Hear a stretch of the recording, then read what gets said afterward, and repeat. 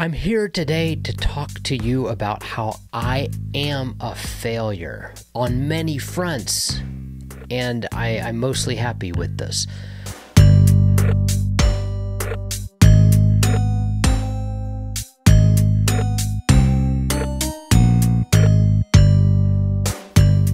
Let me let me give you some specific examples.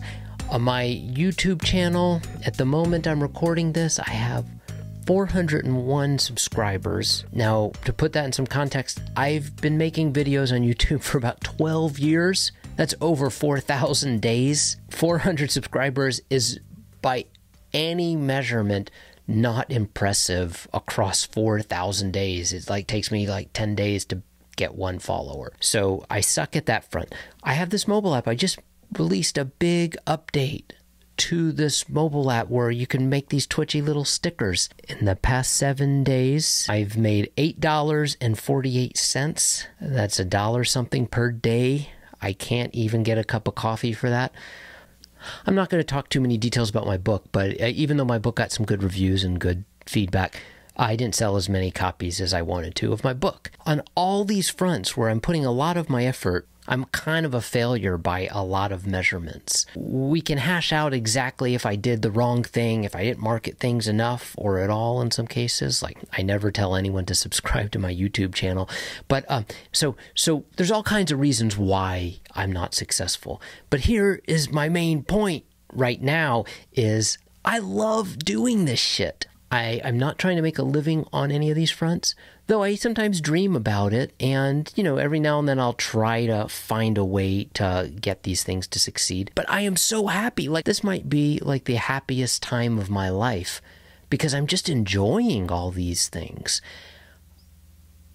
And I just wanted to sit with that for a second. Uh, it's so easy to get lost in the metrics and how to succeed and if other people you know are doing better. But sometimes I forget to ask, like, am I having fun? And even though I'm not succeeding when I look at the numbers, people still tell me, hey, I, I liked that video. I read your book. I liked your book.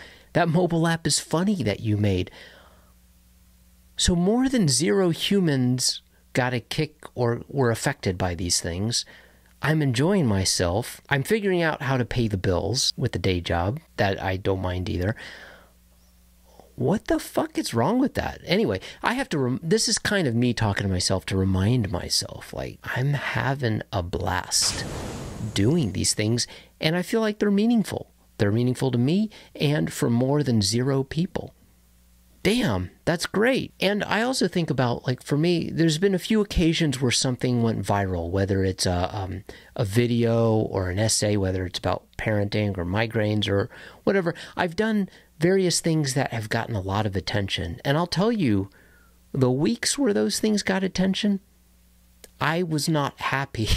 I was a wreck. You know, like one time I got like like a hundred messages in one day, and 99 of them were good, positive, like that that thing you wrote affected me. One person said you're a bad person, and it fucked me up. So I'm not trying to say that getting attention and success is bad. I mean, part of this is just things I'm working out with my therapist about why I get overly uh, sensitive and affected by these things. I just want to rewrite the story for failure and unsuccessful and what that means. Because if you look at the analytics, if you look at the chart, I'm looking at a graph right now of the money I'm making on my app and my YouTube numbers. And you look at those numbers and you're like, wow, I suck. I don't suck. I'm having a great time. I love it. Oh, what's the problem?